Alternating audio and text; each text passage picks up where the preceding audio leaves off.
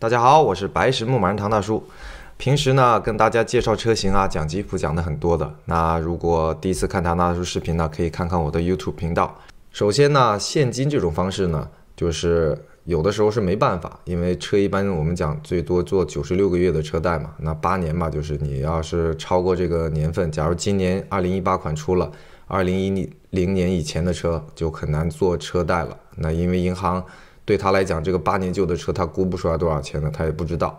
你新车他是知道的，有市场指导价，所以他就不愿意，或者说他认为风险太高吧，不愿意接这笔业务了。那你就只能现金买了啊。再来的话呢，现金有好处，这块肯定就是省下利息了，因为二手车特别它利息会高一点，新车很多也是有点利息的啊。你的总价就肯定是最低的，但是呢，特别像我们移民在国外，现在倒钱出来也不容易，一般一下拿这么多现金也。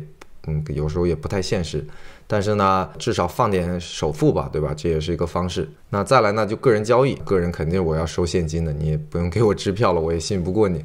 大家就一锤子买卖，所以这就只能现金了。再来的话呢，有个别的生产制造商，他们因为呃新车吧，一般讲的，它利息会挺高的，那。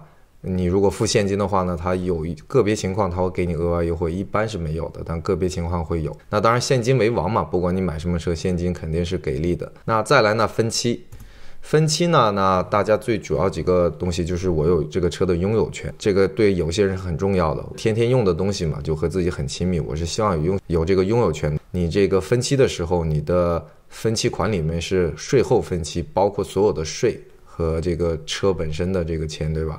所以就是说，你将来这车在 trade 的时候就可以抵税了。如果你是一般的车，就能多抵十二的税。如果你买一个有豪车税的，你就抵百分之十五，在 BC 省。再来呢，你这个车你是有拥有权的嘛？也就是说，呃，车贷还清之前，你和银行是共同拥有吧？但是这个车只要你按时还钱的话，这车理论上就是你的。那你没有像租赁一样有公里数的限制啊？那你要不要改装啊？随便你改，因为北美它是不管你的改装什么，只要是合法就可以改。那如果你中间说需要临时这个车出手卖，它也不管你的。那另外的话，这个车贷的话也是个 open loan，我们叫开放式，没有限制，提前还部分，提前还全部。或者怎么样的转手都不管你的。那再来呢，就是厂方不同的生产厂，一般来讲，美国车的话，它一般就 finance 政策会特别好。这个租赁提到了，就是很多厂方他们呃德国车啊，一些日本车，他们都倾向于租赁，他们很喜欢的。所以政策是有倾斜的，这块也提一下。长租呢或者 leasing 的好处就是，也适用的人群是每两三年我就要开新车的，我想要最新的车型，我想要最新的科技。那每个月我就固定出来这么多钱放在车上面，对吧？我就永远这么租下去。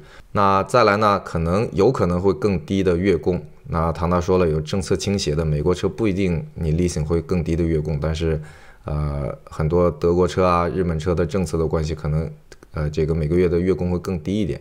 有这种可能性的，而且另外就是你这个税是按月来付的，不像那个 financing 这个一次把总共的这个税算进去，然后放在每个月里面。所以呢，leasing 也就是没有抵税功能了。回头再 trade in 的话，那再来呢，租赁的话呢，它会有一些限制的，一般里数限制，对吧？一万八、两万四，每年只能开这个里数，过了的话就得去补钱。再来改装一般有限制的，你改完之后要改回去，或者说呃扣钱啊，或者怎么样的。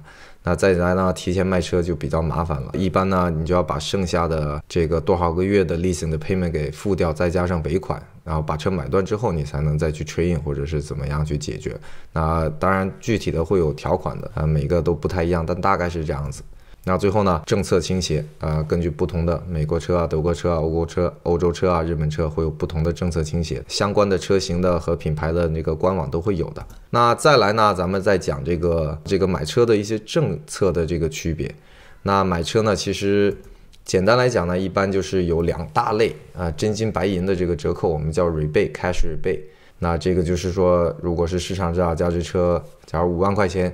给你五千块钱的，那上手就给你减五千了。另外一种呢，就低息或者零利率，也就是说这车我就是市场指导价就这么多钱，但是呢我有低息政策一段时间或者零利率政策多少个月的。那这两种适行适用的不同人群的。那第一类型呢，对吧？那就是比较极端一点，我就是有现金折扣，但是正常利息三九九啊、四九九啊，正常利息你去付。第二种呢，就是低息零利率，那就没什么现金折扣或者一点点现金折扣，那剩下给你个时间，一般六十个月啊、七十二个月啊、八十四个月的零利率，对吧？这种。那第三类呢，有时候一些呃促销的时候，它会两种。就各一点点，给你一个现金的折扣，几千块钱的，那再加上一个不是最长的时间的这么零利率。假如说给你五千块钱啊，rebate，再加上个五年的六十个月的这么一个零利率，这也是不错的方式。那这三种方式呢，没有说哪个最好，它有适应不同的人群。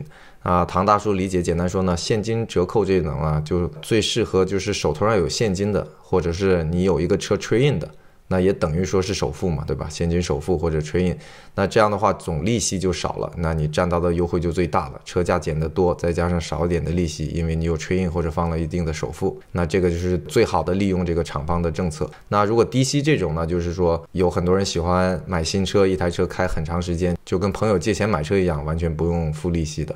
那这个是能享受到最大的优惠。那最后一个综合这种呢，就适用所有的人了。当然，如果你有现金或者有 trade in，就放一点首付，但同时你也享受到这个一些现金的折扣和短期的零利率，所以这个也是享受到最大好处的。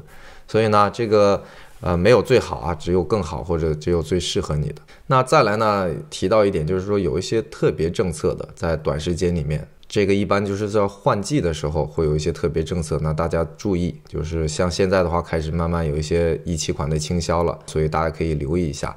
那就除了上面讲的三种之外，额外的可能会有一些东西，那大家，呃，这个就各种各种形式都有了，大家可以去官网去看一看。